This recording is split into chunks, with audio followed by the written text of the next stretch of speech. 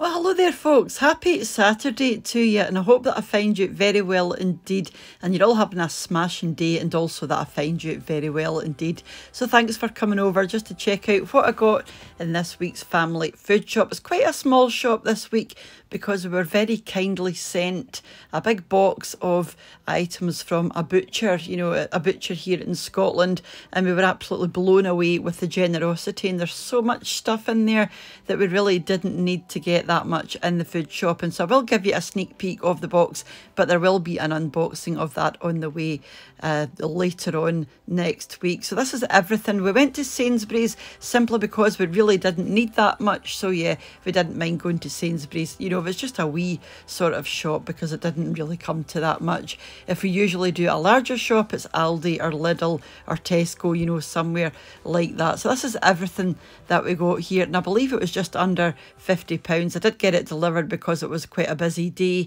and he brought it in the morning. So I think it was about £4 for the delivery. So yeah, £47.80 altogether. So I got some of these fish fillets just to have in the freezer for an emergency tea one night, for a wee change from the frozen chips, although I did get frozen chips as well. I thought these crispy potatoes looked quite nice, you know, just as a wee side. So yeah, pick those up and also some green beans for the freezer. Again, they're just handy to have, you know, if you run out of fresh veg. These were the frozen chips that I got. These are our favourite frozen chips, but they are quite expensive. But this is the bigger bag that they've started doing, which I was happy to see that they did start doing the bigger bags. I got some chives and some puff pastry as well. I'm going to be doing some leek ham and chicken pasties for the recipe next week, I think. And that calls for leftover chicken and leftover ham. Neither of those two things I'm going to have. So I'm going to use these chicken drumsticks. And then some crisps for the snack drawer.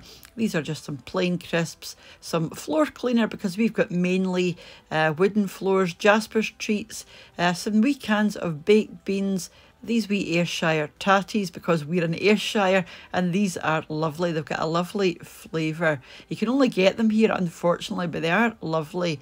And then some honey roast ham pieces. Like I said I'm going to be doing the chicken ham and leek pasties and I'm, I'm you know I'm not going to have any leftover ham or chicken so I'll use both of those. Cayenne pepper because I love cayenne pepper and a wee lemon and then these poppy seeds are just for the top of the wee pasties that I'm going to be doing. Do you call them bridies or do you call them pasties? I don't think there's any difference, but yeah, that's what the poppy seeds are for, just on the top.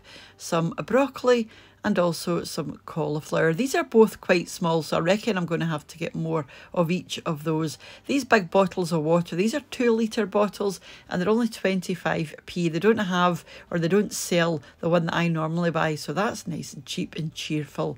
A couple of leeks and also a couple of blocks of butter as well. Mr. What's for Tea's trifles, yay! he likes his trifles. And then a wee jar of whole grain mustard and also some creme fraiche. Also picked up some fabric softener as well. I think that was everything that I got from Sainsbury's. Like I said, not the biggest shop in the world, but it's really just to go with the things that I was sent from the butcher. And look at the size of this box. This is McDonald and Son in Dundee. So if you're from Dundee, you'll probably know this butcher because it's been around, I think, for around 75 years. I had a look at their website and it looks absolutely fab. So like I said, I won't show you what's in this box just now because there is an unboxing coming next week. But let me just tell you, the stuff is absolutely fabulous. So yeah, that is on the way. Just before I leave you, I wanted to say, as usual, a massive thank you to the supporters of the channel over on my Patreon page and to the channel members here on YouTube as well. And for you all for watching and leaving your lovely comments and sharing and all that good stuff that you do. You know, it's all very much appreciated. If you're not following me on Instagram yet, I'm What's for Tea 3 over there and it would be lovely to see. So I'm going to go off now and wish you a wonderful rest of your day. And I will be back on Sunday for Meals of the Week, which is tomorrow. Oh my goodness, it's tomorrow. Uh, Sunday for Meals of the Week, or even back during the week for another recipe or shopping unbagging.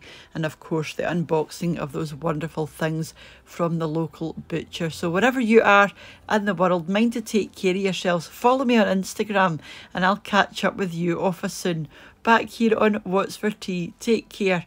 Bye now.